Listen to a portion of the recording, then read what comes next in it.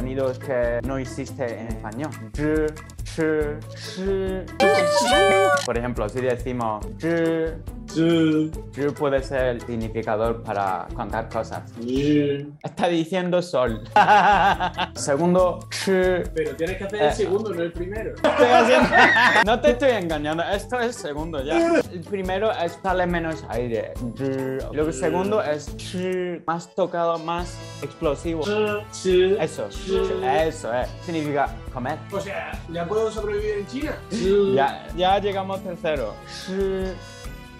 La lengua es más plano y sale muchísimo aire, como shi, como un S, pero con mucho shi. Zhi. Shi.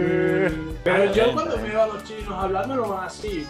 Porque estás diciendo las pronunciaciones más difíciles de todas. Enséñale algo sencillo. 我叫 Borja. Wow, chao, Borja. Perfecto. Pronuncias muy bien.